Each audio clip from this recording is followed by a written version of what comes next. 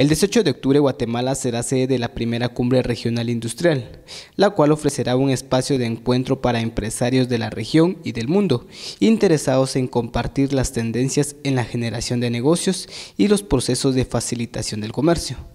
El evento inédito en su tipo también inspira que los MIPIMES y emprendedores encuentren en él una brecha de oportunidad para expandir sus intercambios comerciales con los países centroamericanos.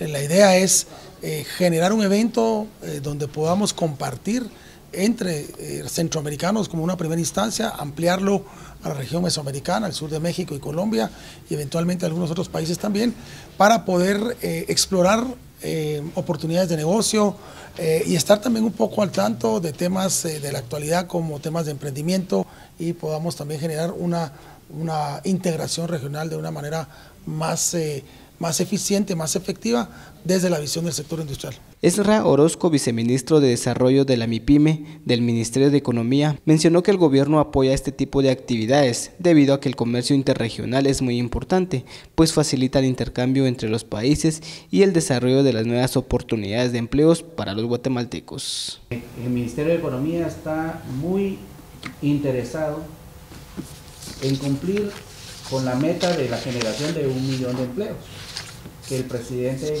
Jimmy Morales ha dicho en repetidas ocasiones. Según el monitor global, cada emprendedor puede generar entre 5 y 10 empleos. En matemática simple, ¿qué es lo que tendríamos que hacer? Apoyar 200 mil emprendedores. Si cada uno va a generar 5 empleos, 200 mil emprendedores van a generar en su conjunto un millón de empleos.